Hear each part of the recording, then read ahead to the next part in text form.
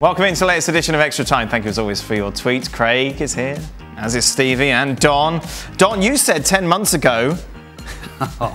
you said. You said that age You is said, catching you up with said. Messi and might not be relevant anymore. How the tables have What? turned. He's favourite to win the Ballon d'Or with the most goals and assists and free kicks in Europe in 2021. Do you honestly believe I sent that tweet? He's, Messi was not relevant anymore. That is something that I would never ever say or tweet. You, you said he was on the wane. Well, maybe he was. Right, well, I he clearly wasn't. Irrelevant. Well, I was wrong then, wasn't I?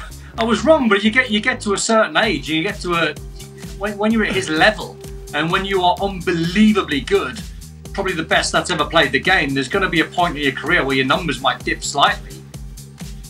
Never said he was irrelevant. Never. Bat it off, Don, lad, bat it off.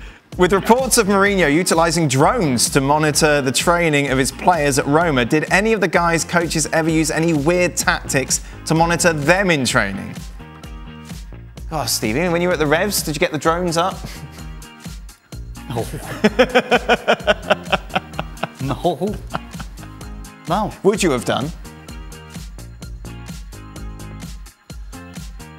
Yeah, probably I. Really? Well, yeah, because you can you could see how your back four's lining up if somebody's Right. separated. You Who's can, flying I mean, you drone? can, You? you can use it.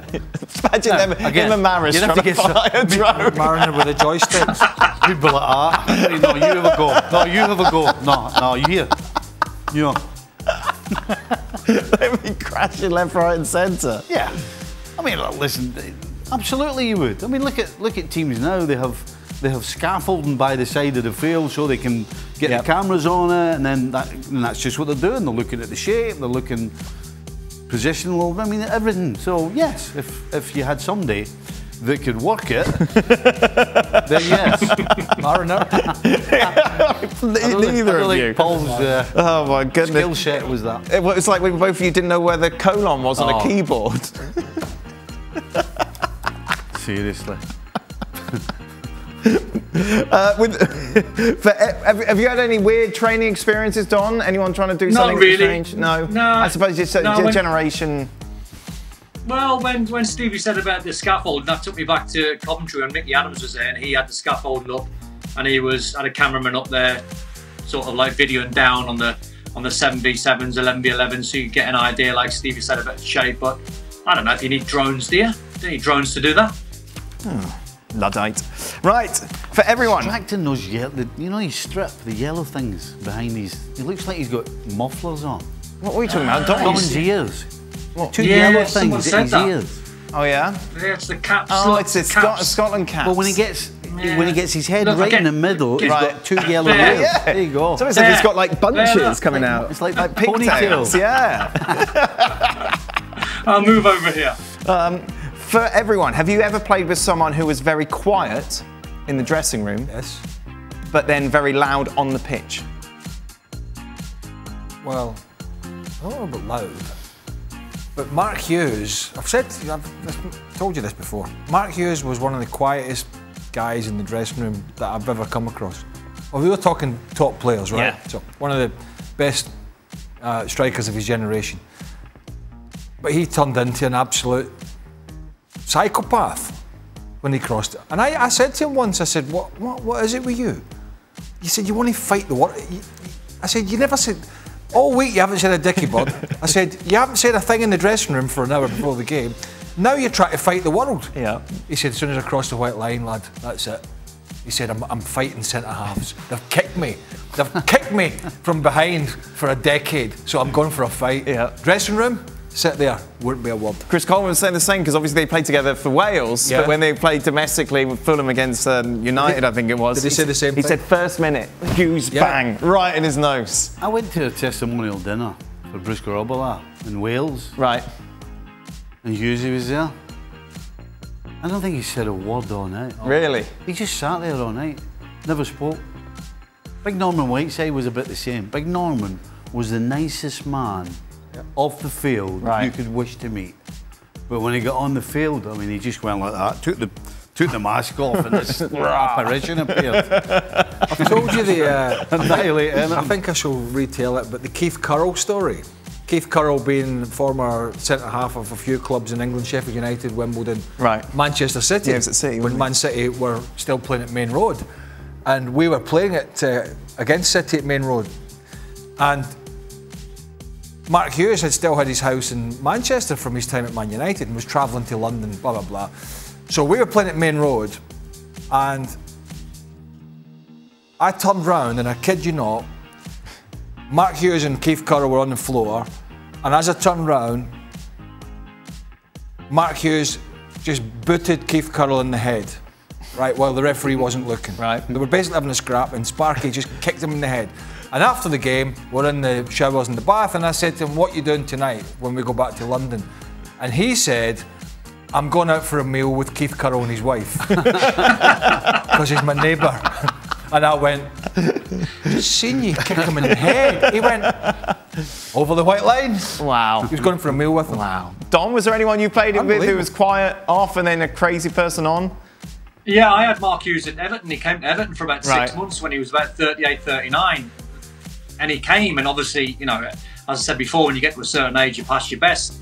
And he was terrible on a Monday, the worst training on a Tuesday, day off on a Wednesday, awful on a Thursday, little tippy tappy five aside on a Fri- Friday, man possessed on a Saturday. Incredible. Duncan Ferguson was a little bit the same, where he was quite quiet. I wouldn't say Dunk was shy, but he wasn't as vocal as you would probably imagine. He was on the pitch, by the way. He wanted to fight the world and take everyone on and prove that he was the best. But Monday to Friday, he was quite quite quiet. Remember the bib? You'll not know this. Uh, usually, at most clubs, I would imagine, but after training, you used to have a vote for the worst trainer. Right, okay. So after every training session, you'd have a vote. Who was the worst trainer Right. today? Yeah. And they used to get a bib, yellow bib or something. Like the bib of doom. And they had to put it on, and the, basically Right. the boys took the, what, what's it out of them. Yeah. We used to give it to Sparky before training. There you go, son. There you put that on, lad, will you? But then he was obviously Yeah, incredible. when it, when it, really, when it really mattered, not on the training ground, on the pitch. He was. I hope he doesn't watch this. Uh, speaking of feisty players, Don, pick one. Roy Keane or Patrick Vieira? What, in, in what sense? Having a fight, player, pick all one. round ability? Ju- all I've got is pick one, Don. You can. Keano, I would say, but Yeah. not much in it. Not much in it.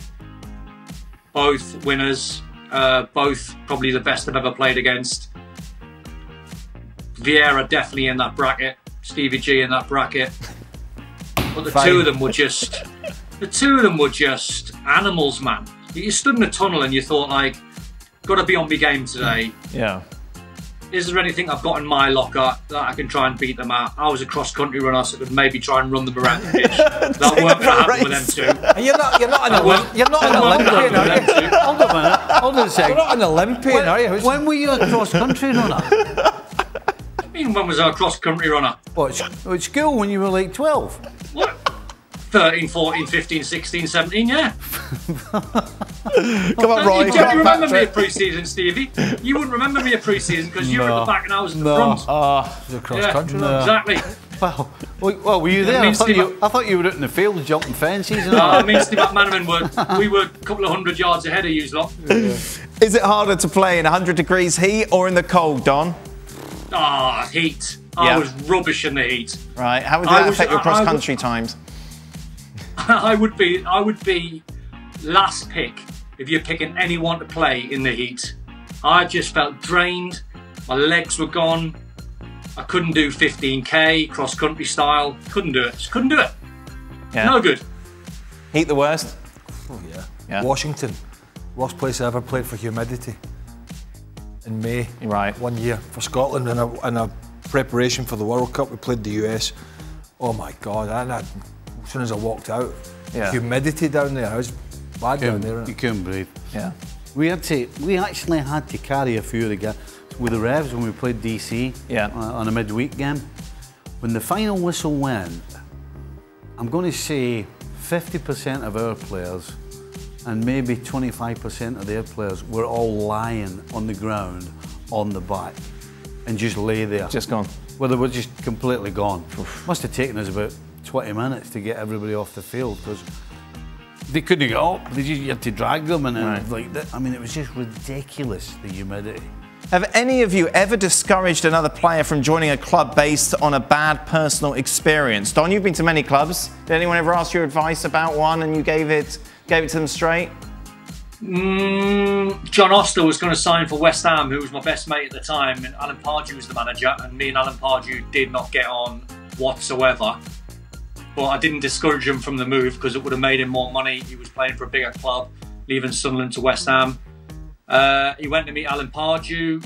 I dropped him off at Alan's house. Oh. I didn't go in because we didn't get on. Then I picked him up an hour and a half later. How did it go? Not going to sign for him. Don't fancy him. Don't like him. Not signing. Wow. But What'd I would never when- discourage anyone from making a move. What'd you do when Oster was in having these talks? He's going to do like, you know, Cross country, right? 20 mile or something, you know, just shake it Yeah, off. Why is he done not, 20 miles to the coffee why is he shop. not your best mate anymore, Don?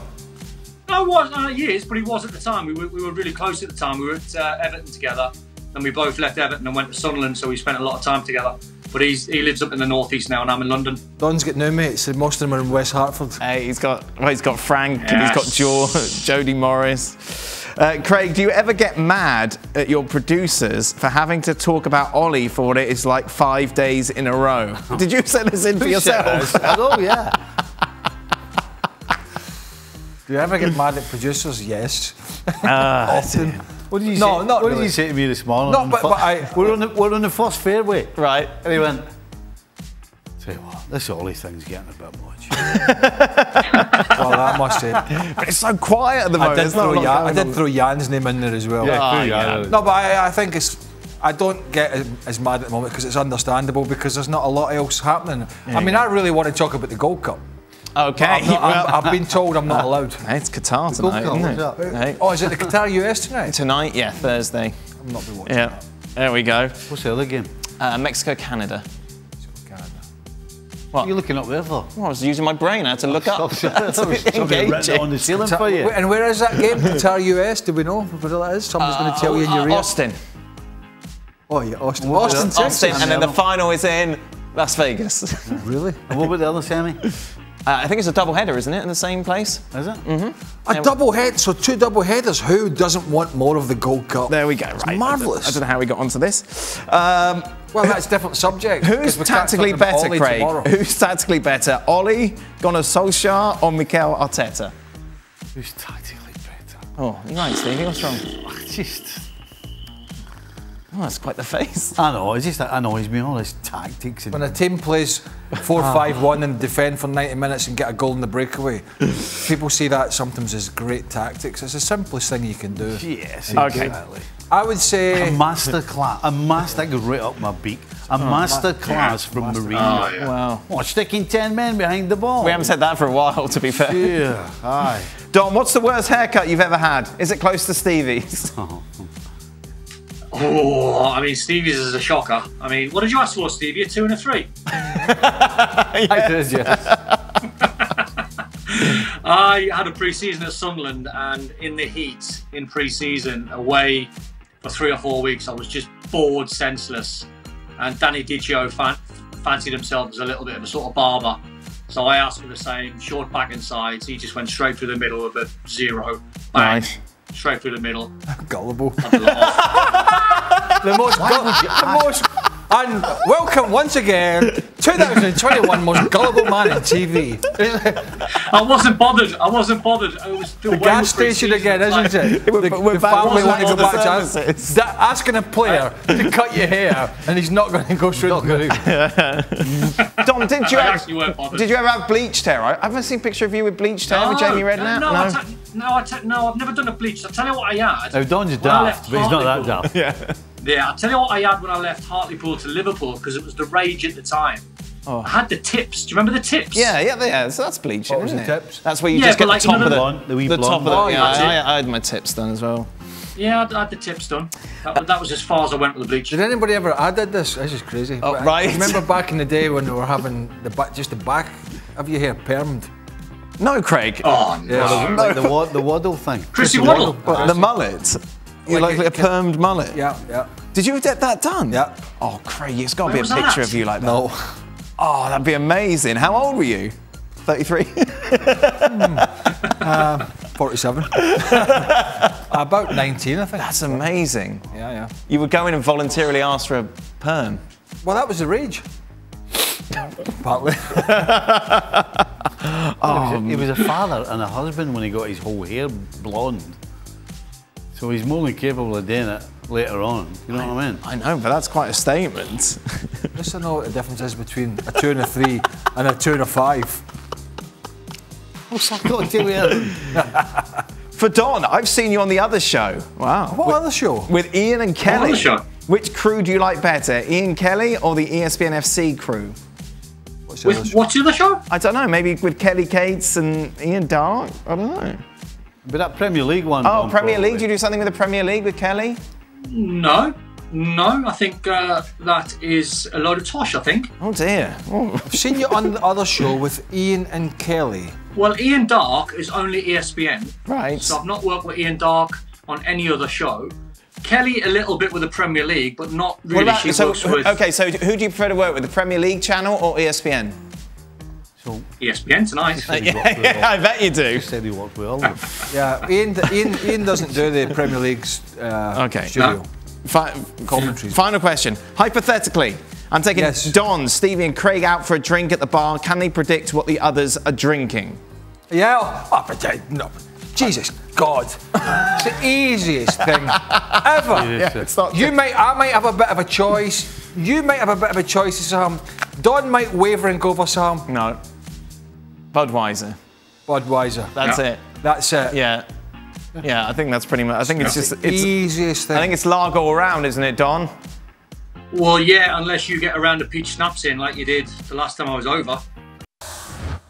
Well, thank you very much for watching ESPN on YouTube. For more sports highlights and analysis, be sure to download the ESPN app. And for live streaming, premium content, and let's not forget as well, ESPN FC seven days a week. Subscribe to ESPN Plus.